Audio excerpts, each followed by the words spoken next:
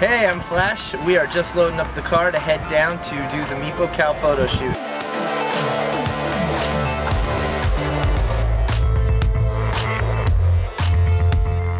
We just got out to the shoot spot. Our model and makeup crew are getting ready. We've got uh, our very own Get Your Ass to Mars working on some wardrobe stuff. We got the lights just set up and we're getting ready to go.